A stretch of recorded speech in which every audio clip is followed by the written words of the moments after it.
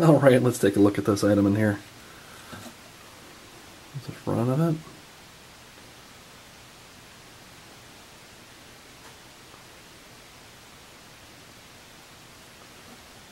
There you go, and here's a connector on this side.